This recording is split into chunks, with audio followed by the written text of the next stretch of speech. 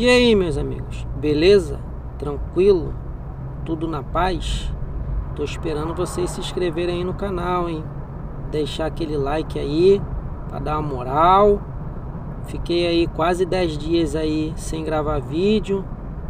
Tava pensando seriamente em deixar os meus telespectadores de lado e parar com esse negócio de ficar gravando vídeo Vou curtir meu dia a dia só eu mesmo aí na estrada, no dia a dia.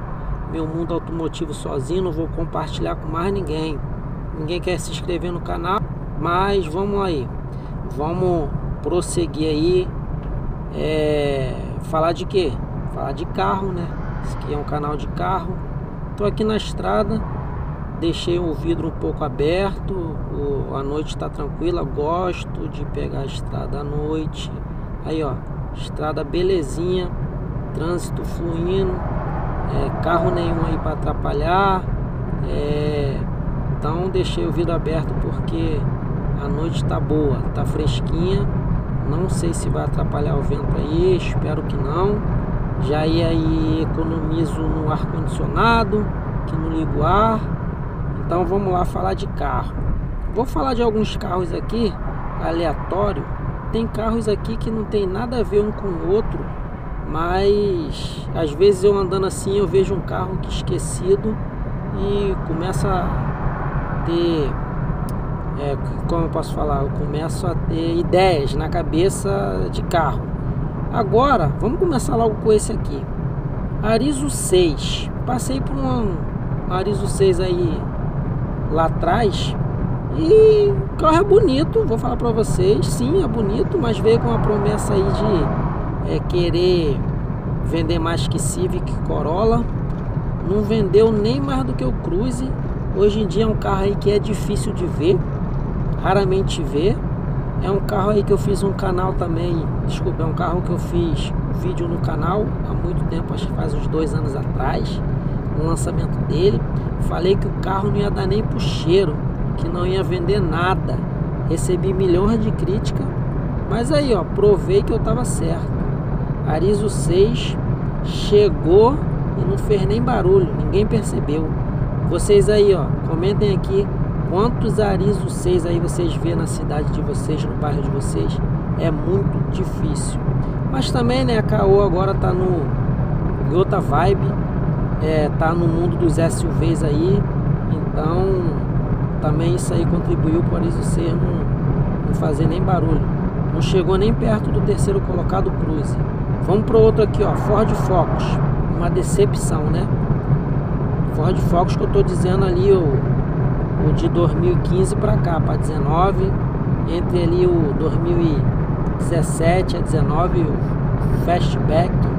Em geral, o Ford Focus com o câmbio Power Shift decepcionou, mas muito Carro completo, bonito, bom de tudo, confortável, seguro, motor excelente, anda bem, mas esse câmbio Power Shift acabou com o carro, acabou com a fama boa do Ford Focus, porque a gente só lembra o final, só lembra o último, né? É o mais recente. Então, esse câmbio Power Shift acabou com o Ford Focus. Aí, para completar, a Ford saiu do Brasil eu vejo muito Ford Focus encalhado aí que ninguém compra por causa do câmbio. Imagine se esse carro viesse manual câmbio 6 marchas, não quero nem falar. Iria ser com certeza um sucesso. Mas vamos falar de Power Shift de novo?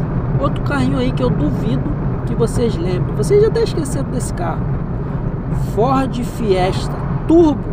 Aquele de 125 cavalos, 3 cilindros, motor EcoBooster, ele é somente a gasolina. Também outro carrinho aí que chegou, não fez nem barulho, chegou na época do HB20 Turbo, também de 120 cavalos, 125 cavalos. Então, esse Ford Fiesta aí tem gente que até já esqueceu que existe um Ford Fiesta Turbo de fábrica. É outro carro aí que também está encalhado, não vende nada por conta do câmbio Power Shift. O carro é bom, excelente. Ford Fiesta foi um carro, sempre foi um carro bom, honesto, mas esse aí, turbo, imagine também se viesse manual. Ia fazer estrago. Hoje em dia tá rodando aí pra caramba. Ia ter briga para comprar um carrinho desse aí. Outro aqui, que ele sofre preconceito somente porque é francês. O C4 Lounge. Meus amigos, fiz um test drive no C4 Lounge THP, o completão, o exclusive. O carro é excelente. Eu sempre digo, ele é mais completo do que Civic e Corolla. É um carro que eu gostei, mas o brasileiro tem preconceito, né? Eu acredito que ele só não vendeu mais, só não deu certo por ser nasceu na marca errada. É um carrinho aí que eu teria sim, eu não tenho preconceito com carro francês nenhum. É certo que eu sei os carros que eu teria francês e os que eu não teria. Tem carro francês que não tem condições realmente de ter, entendeu? É uma questão racional. Mas e o outro aqui que vocês aí é difícil ver na rua? Kia Cerato, ninguém quer. 2021, 2022. Ele veio aí, ó, também não vende nada, difícil. Esses dias eu também vi um Kia Cerato na rua, eu falei, que carro é esse?